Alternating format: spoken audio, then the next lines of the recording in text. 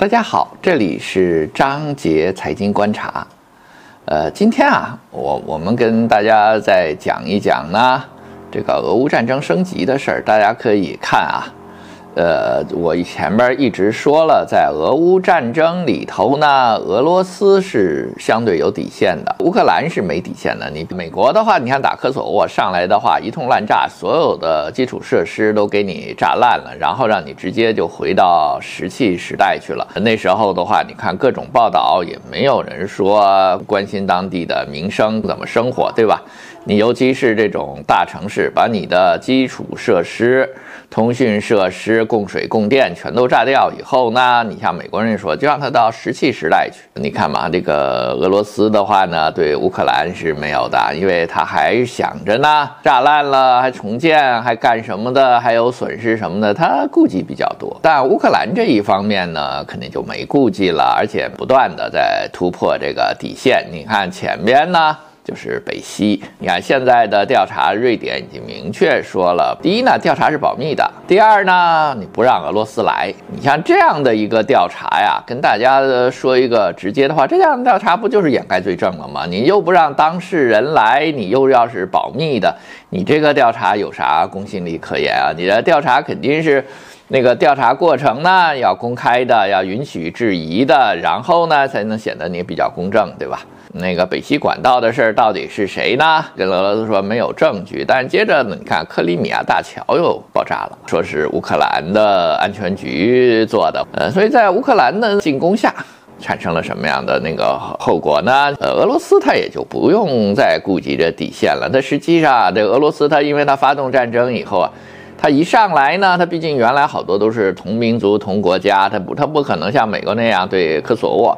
一上来就无底线，所以他一上来的时候他还挺讲究的，民用设施不弄啊，还有呢平民伤亡啊。但是呢，你乌克兰不管呢，瓶瓶罐罐都打烂呢。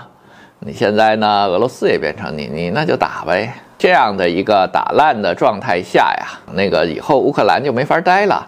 它不是一时半会儿的，这个重建的成本也太大。这个乌克兰的这个亡国灭种啊，可能更多的呢，呃，是有其他的问题。其他的问题我们下期到时候再分析。而这个升级了以后呢，你又看到了新的变化是什么呀？呃，实际上现在啊，德国特别难受。首先，波兰找他要钱，然后呢，他不给钱的时候呢，你像俄罗斯的这个石油管道呢，你像原来。他要做那个北溪嘛？为什么要做海洋的？他就是不通过乌克兰，不通过其他国家嘛，直接能到德国。现在呢，你把它这个管道到海底的给炸了，那陆路的呢？呃，你从波兰送油的这个管道，对不起的话呢，也漏了。漏了以后的结果是什么？那就是说，你德国的这个工业啊。德国的，因为是它是一个能源呢高度依赖进口的一个国家，你这个石油管道再漏了，对你影响就极大了。因为的话呢，以前的那个德国啊，在苏联解体后，两德合并，它迅速的发展很重要的一条，是当时呢前苏联的时候呢占据东德的时候，吧大量的石油管道。直接就修到东德去了。等那个苏联一解体，俄罗斯再继续再卖油，都是往德国这儿卖。而现在呢，在这样的一个博弈下的话呀，这个德国的呃日子。极其的难过，因为你要明明白，现在德国的状态是什么？他因为他是个二战战败国，被美国压着，美国在他那儿还有驻军，他又没有那么多的自己的武装力量。然后现在呢，波兰实际上就是在挑衅着，可能要宣战了，就是等于逼着他呢。他现在跟波兰怎么着？实际上，这个俄乌战争这个影响呢，呃，正在迅速的扩大化。你这战争打久了，德国的话，你会发现。他跟他旁边的法国其实跟德国的关系也不好，英国跟德国的关系也不好。那么呢，你德国它实际上面临一个非常重要的生存问题，就是说在欧盟啊，原来欧盟的主心骨呢是德国，它是中间的领导。呃，现在呢，你像德国，它等于受到了各方的围攻。你当然从美国来讲。他要度过危机嘛，他要让德国的这些产业，好多高技术产业能转到美国去，德国的资本能逃到美国去。嗯，但是对于这个德国的日耳曼民族的很多人就不行了，而且这些人呢，嗯，在二战后也被洗脑的很厉害嘛。基本上呢，在白左泛滥的时候呢，德国也是之一。但是现在这种状态啊，可能局势呢会起非常重要的变化。呃，如果大家把时间呢，呃，往久了一点儿啊，实际上的话呢，在西方呢，就是英美啊，一直把德国当为重要的敌人，而且呢，在此之前呢，英美跟苏联关系是很好的。你像苏联苏维埃革命能重建呢，当时革命初期，它能建立它的工业体系的，美国给了它巨大的帮助。在此之前呢，实际上英国啊，一直把它和德国的盟约变成它最重要的。呃，实际上好多中国人啊，他并不知道这个当年的变化，就是说当年日俄战争，呃，日本呢也是借了英国人的钱，呃，替英国人呢去搞毛熊。因为当时为什么日俄战争要打呢？是因为俄国人呢他修通了西伯利亚铁路，他的控制呢要控制到远东来了，而且呢借着当时的八国联军啊。好多八国联军历史我们没有说，那个俄国是派了几十万大军把整个东北占了，所以呢，英国呢出钱给日本，日本说把东北要还给中国。其实日本对东北也有想法。日俄打起来的时候，俄国被打得很惨的时候，为什么这战争不打了？而且呢，日本啊一分赔款也没要着。这里头的其实有一个非常重要的背景，其实中国人知道的并不多。它实际上那时候呢，俄国和德国要结盟了，这个对于英国来讲是一个重大利益问题。当时呢，他们签了一个叫做必游克条约。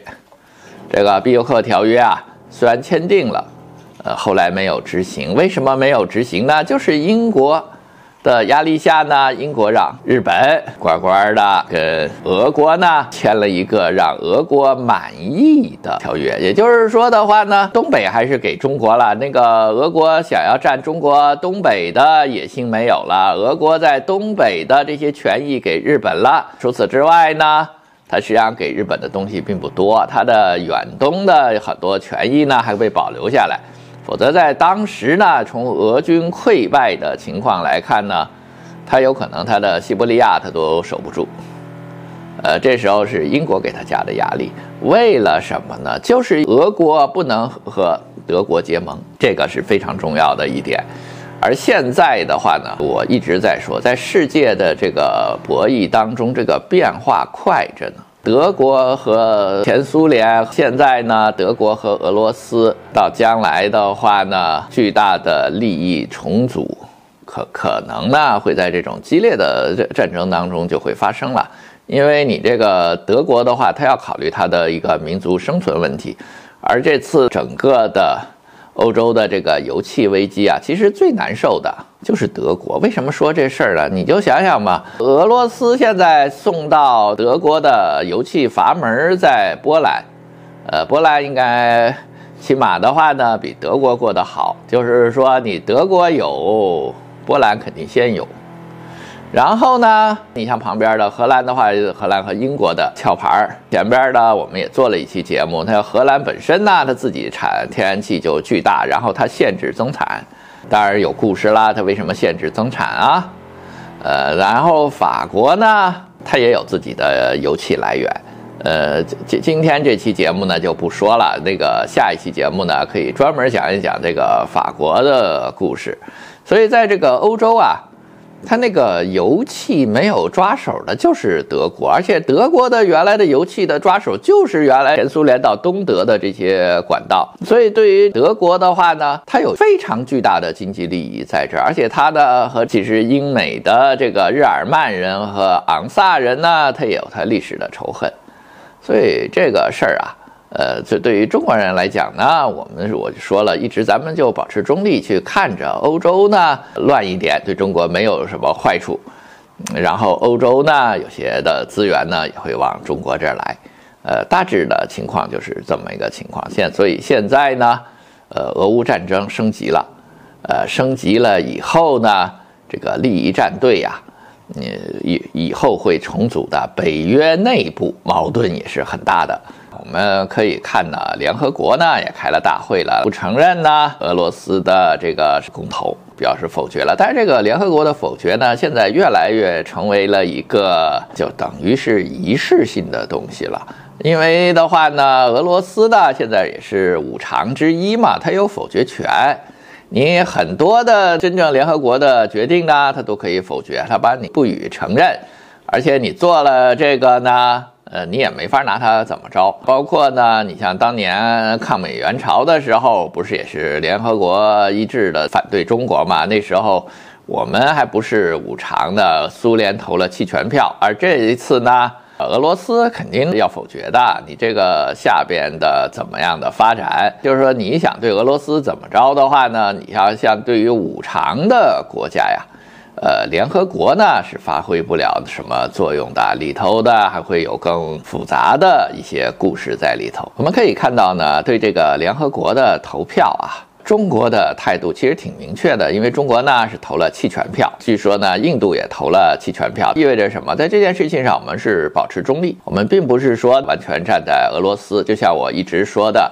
在俄乌战争的状状态下，中国呢就是应该保持中立，不要那么早的站队，因为呢，你可以看世界现在怎么站队，呃，都是在随时可能发生巨大的变化。谢谢大家，今天这期话题呢就跟大家分享到这儿，再见。